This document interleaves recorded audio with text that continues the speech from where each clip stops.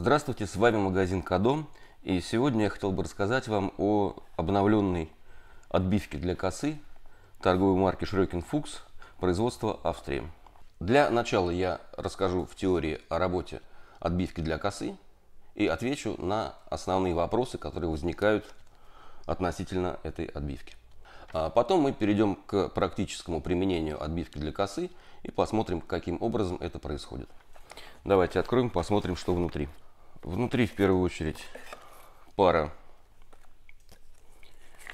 инструкций по применению. И, собственно, сама отбивка. Из чего состоит отбивка? Из двух э, колпачков металлических и наковальни для отбивки. В чем отличие от предыдущей модели? Как вы помните, предыдущая модель колпачи э, имели цвет красный и желтый. На колпачках нанесены риски. Две риски, вот они, и одна рисочка. А, о чем это говорит? Значит, если в предыдущей версии э, от э, компании Schrecken Fuchs для отбивочки косы э, колпачки имели точно такие же риски, но Сначала использовался для отбивки колпачок с двумя рисками, потом с одной риской. Значит, объясню, почему это происходит.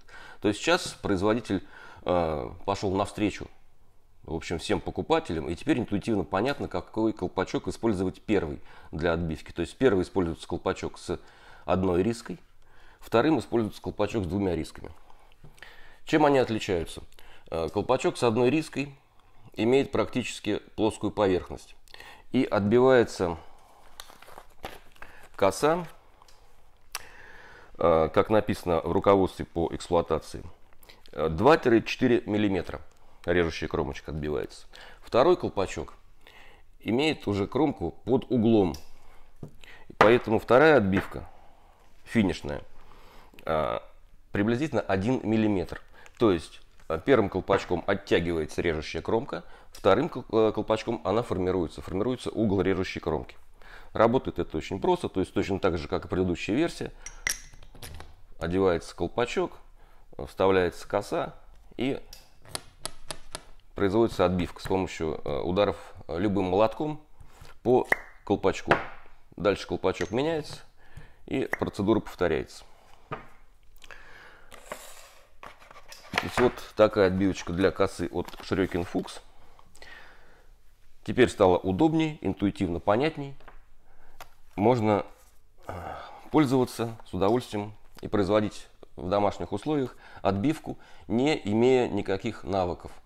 То есть, когда вы пользуетесь молотком и наковальней, здесь необходимо, э, необходим навык, необходим опыт, потому что э, движение при отбивке молотком и с помощью наковальни, движение молотком производятся немножко такие вот оттягивающие. И здесь легко получить на режущей кромке э, косы волну. Э, волна, конечно же, с помощью оселка правится, но вот при использовании отбивки э, вы, собственно, ну, не совсем гарантированно, но, тем не менее, в 99% случаев вы волны не получите, и отбивка будет производиться аккуратно. И хотелось бы ответить на самый часто задаваемый вопрос относительно отбивки Шрёкин Фукс. Сейчас я вам покажу и расскажу. Вот здесь написано Шрёкин Фукс. Это производитель а, вот этой отбивки для косы, австрийский производитель. Существует также австрийский производитель Офнер. Вот здесь мы видим наклеечку Офнер. А, они оба австрийских производителя. У них, собственно, есть своя партнерская программа. То есть, когда мы размещаем заказ у компании Офнер, мы покупаем у Офнера вот эти отбивки. И они наклеивают свою этикеточку. Если мы делаем заказ а, в компании Шрёкин Фукс, то мы получаем без наклеечки Офнер. Ту же самую отбивку. То есть это производство Шрёкин Фукс, которое по партнерской программе еще работает с компанией Офнер. Второй самый распространенный вопрос – это какая сталь? Значит, что касается стали, которая используется здесь, то никто на этот вопрос из производителей европейских не отвечает. Это принципиальная позиция, они считают это своим ноу-хау, это касается всего, это касается молотков, кос, отбивок и так далее. Э, более того, компания Офнер, когда мы попытались э, что-то э, снять у них на производстве. Они нам запретили это делать, и все рабочие, которые работают именно в цехах, они дают подписку о неразглашении. То есть все эти производственные процессы держатся в секрете. Они говорят, ребят, пожалуйста, вы можете снимать наши склады, нашу готовую продукцию, но снимать производство мы вам не позволим. Посмотреть вы можете, снимать ни в коем случае. Они это объясняют тем, что не хотят, чтобы эти все их секреты, эти ноу-хау Э, все оказались в Китае.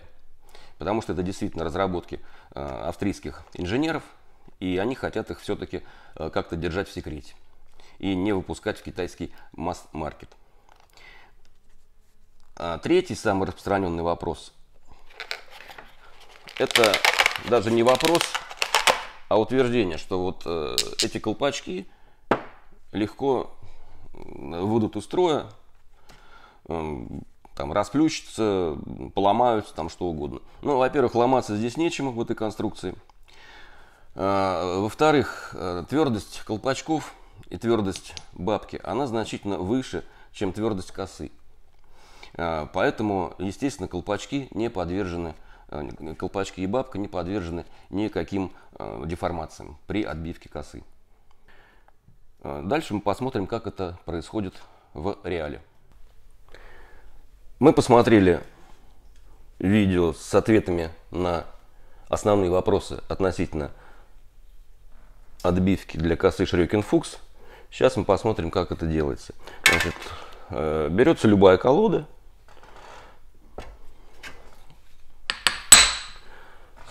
Вставляется отбивочка. У нас есть два колпачка с рисками нанесенными. Одна рисочка, две рисочки. Берется одевается колпачок. Берем косу. Ну, чтобы было видно, вот так сначала посмотрим. Коса заводится под колпачок.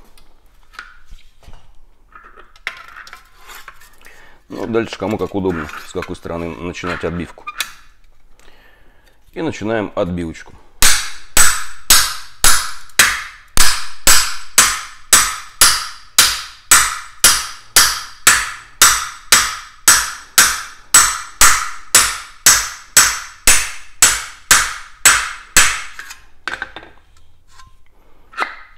Убираем колпачок с одной рисочкой, вставляем колпачок с двумя рисками, который позволит дать режущим кромке необходимый угол.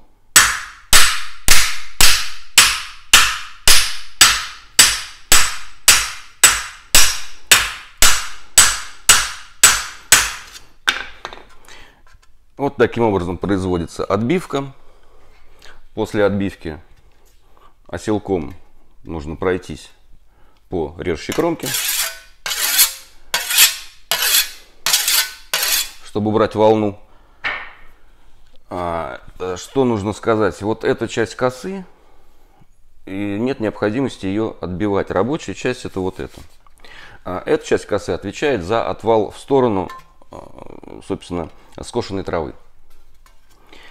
И вот таким образом легко любым молотком вы можете свою косу довести до совершенства, до тончайшей режущей кромки. И коса у вас будет все время острая и будет просто брить траву. Спасибо, с вами был магазин Кадо. Покупайте лучше, про остальное забудьте.